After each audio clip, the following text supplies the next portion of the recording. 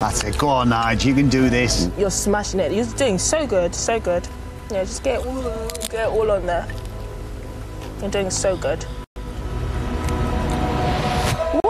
I'm afraid you got There's gonna have to quite a bit to. try and uh, tidy up that plate a bit. Very good. I'm proud of us. We did very well.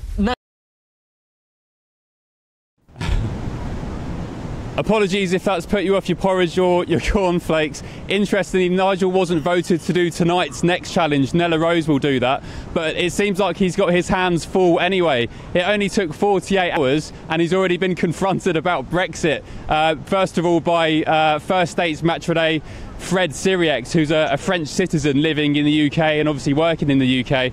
Uh, Fred accused Nigel who's a staunch Remainer, by the way, um, of demonising migrants. Nigel snapped back by calling him daft, and uh, this is some of the best bits of their debate in camp from last night. The thing is, is the intolerance that came because Brexit was about immigration. And I remember your poster, Yeah. which I well, thought, how, I thought it was shameful what you did, Nigel. Sadly, Shameful. sadly, it was absolutely true. What was the poster, sorry? Can I just cut in? Can you educate It was a a poster just please? showing mass young men moving illegally through across borders. But it was about demonizing Right, and migrants. saying that that was wrong. No, it wasn't. I mean, in your view, it was, but it wasn't. But it's not only just my view. I also uh, won't show you this last clip because it's probably the worst of them all. But one of the funniest moments of last night's episode was uh, Nigel Farage taking a shower in the waterfall.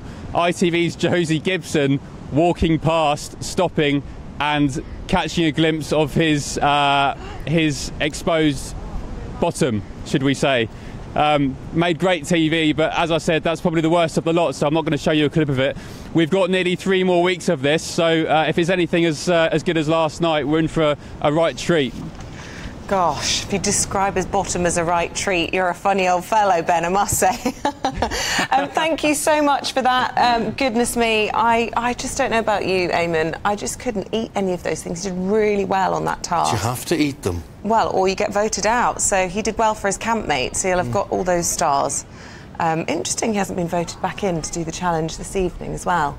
I wonder why that might be. Uh, ben, thank you very much.